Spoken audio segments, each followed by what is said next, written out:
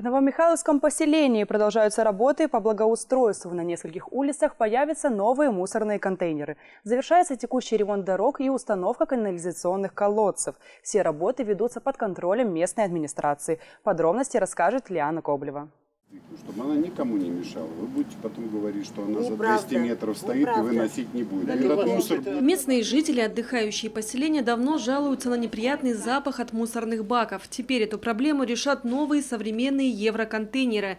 Помимо этого, облагородят место их установки, зальют рабочие бетоном и сделают специальное ограждение. Машина задом заезжает, берет эту емкость, там такая на ней два зуба, угу. они берут, опрокидывают есть в автоматическом режиме. 18 современных евроконтейнеров установят в Новомихайловском на улице Ленина, Садовой, Парковой, во втором микрорайоне и первом микрорайоне Ольгинки. Новые баки со специальной крышкой приобретены на средства из местного бюджета. Естественно, бюджет не бездонный, поэтому вот в данном случае в рамках э, программы благоустройства выделили средства именно на это. 22 сентября окончание срока производства работ. Надеемся к этому времени отремонтировать все вышеуказанные контейнерные площадки. В переулке Уютном жители частных домов пользовались септиками. Это специальные очистительные сооружения. Но они неудобны были из-за высокого уровня грунтовых вод, которые их затапливали. Теперь здесь появится 9 канализационных колодцев, установка которых уже идет полным ходом. Уже вот приступили к работам, но как бы столкнулись с трудностями, что уровень грунтовой воды очень высокий.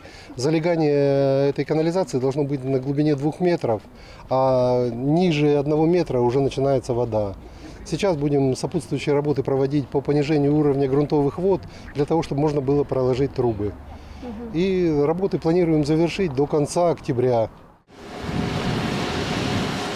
Большая работа проведена по расчистке русел рек в селе Плехо. Завершаются работы по береговой линии реки Нечепсуха. В этом году атакует сезонная амброзия, которую устраняют специальной техникой.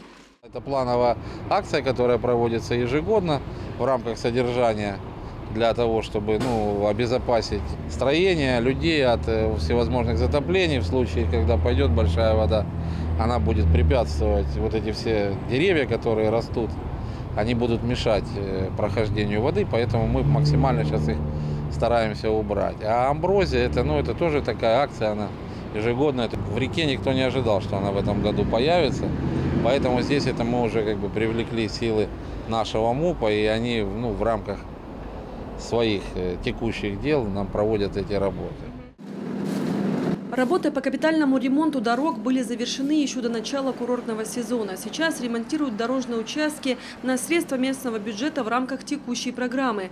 Так, в переулке Октябрьском расширили дорогу автогрейдером и обновили покрытие. Работы проведут и на остальных улицах Новомихайловского, Вольгинки и в ауле.